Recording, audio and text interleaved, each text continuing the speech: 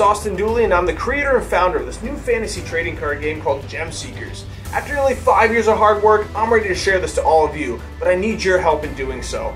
Unfortunately, I've reached my limitations both fiscally and digitally in order to get this project underway, and in order for me to reach the next steps, I need your help and support with manufacturing costs to get the game into your hands, and also to finish digitalizing the remaining creatures and layout of the game so they go from this to this.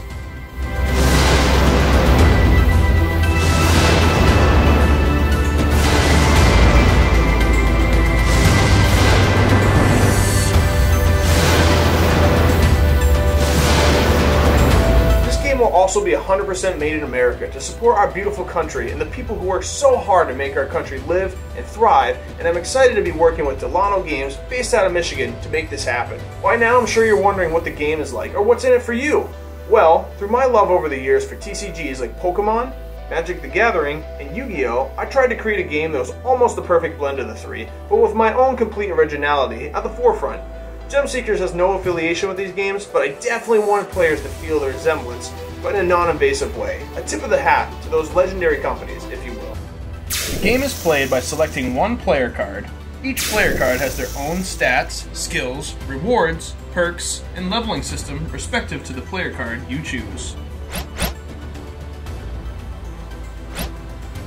After selecting your player card, you will choose the regiment you're playing with, otherwise known as your deck.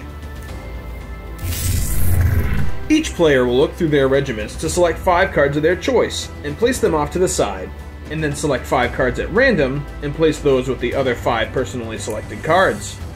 This 10 card mini deck that you've now created becomes what is known as your Mystery Draw, which is a perk you can unlock and attain through collecting soul energy in the game, the currency, and how you level up. Throughout the match, the more soul energy points you accrue, the more you're able to level up and spend those points how you want. After creating the mystery draw, players will shuffle both decks, then draw seven cards from your regiment.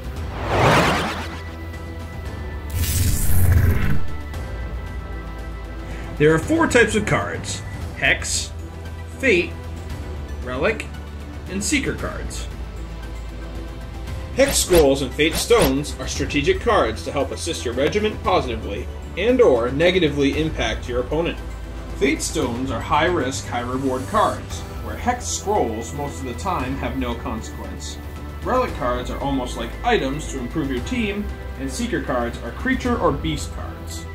In order to help play these cards, you'll need to place down relic cards known as gem fragments into the active zone or the AZ of what is called the gem pool.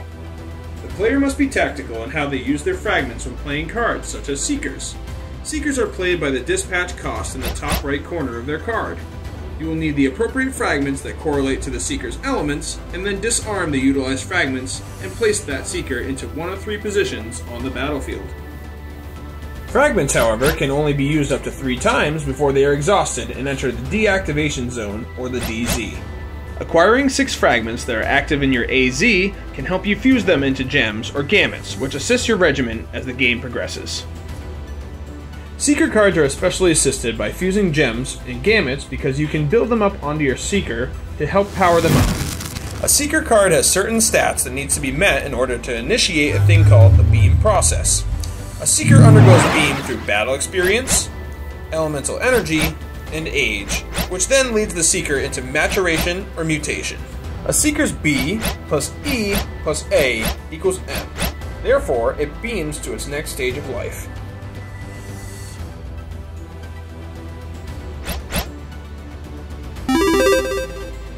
There are three ways to win the match. One, get your opponent's shields down to zero.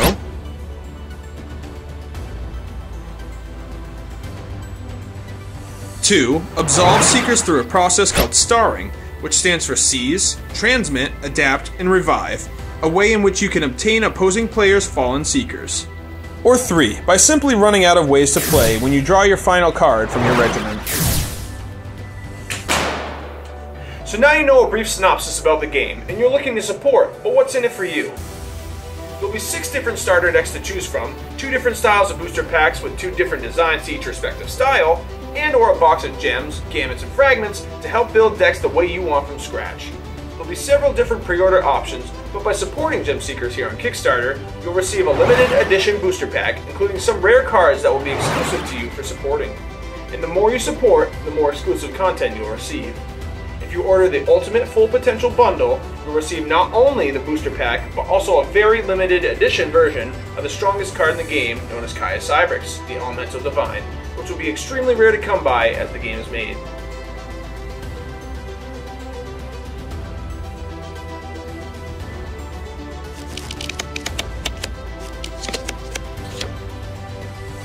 Thank you everyone for watching. Thank you for your support. And uh, through your help, I hope that we can make this dream into reality. Uh, for more information, check out the stuff below. And if you guys have any questions, definitely contact me. God bless.